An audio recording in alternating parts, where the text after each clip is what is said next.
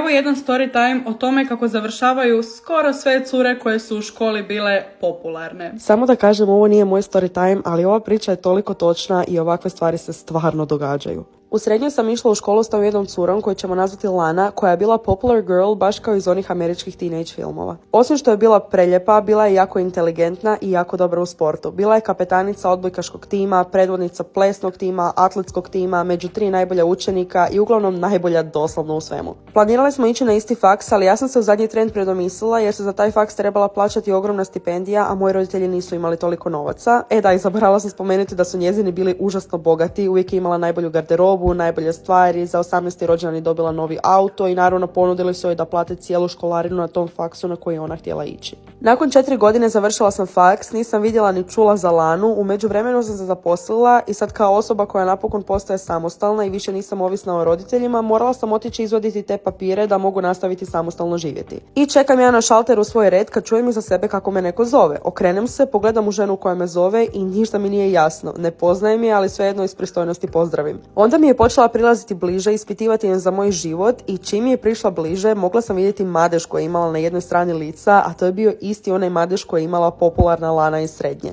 Udebljala se jedno 50 kila, doslovno je bila neprepoznatljiva, lice je izgledalo ispijeno, izgledala je jedno 15 godina starije od mene. Napokon sam je pitala što se dogodilo u njezinom životu i kad mi je počela pričati, nisam mogla ni zamisliti. Na prvoj godini faksa je ušla u vezu s jednim dečkom koji se nije svidio njezinim roditeljima i njezini su je pokušavali udaljiti od njega i prekinuti njihovu vezu, tako da je pobjegla od kuće, preselila se k njemu na drugi kraj države, odustala od faksa i ostala trudna. Rodila je djevojčicu i godinu dana kasnije posvađala se s tim dečkom, prekinuli su i ona se s djetetom morala vratiti u svoj rodni grad. Nije imala novca pošto nije mogla raditi jer je dijete bilo jako malo, tako da je otišla od tog dečka bez ičega i sa zadnjim novcima kupila autobusnu kartu da se vrati doma. Kad se vratila doma, njezini joj nisu htjeli pomoći, rekli su neka se zaposli i sama brine za svoje dijete. Radila je sve poslove, od čistačice do konobarice, s tim novcem je plaćala neki mali stan u kojem je živjela sama sa svojim djetetom i dok je radila kao konobarica upoznala je jednog dečka i dvije godine kasnije udala se za njega. S njime je dobila još jedno dijete i nakon tog djeteta još jedno dijete. Nakon tri trudnoće naravno da se udebljala, a jela je jako nezdravu hranu jer nisu imali novca da si priušte nešto kuhano, to su uvijek bile neke nudle ili tjestenina. Trenutno je opet trudna i živi sa svojim mužem u tom malom stanu, ne može raditi jer je trudna, tako da se oslanjaju samo na ono što on zaradi. Mislim, ona se čini poprilično sretna, ali ne mogu prezati razmišljati što bi se dogodilo s njom da je samo poslušala svoje roditelje i prekinula s tim dečkom.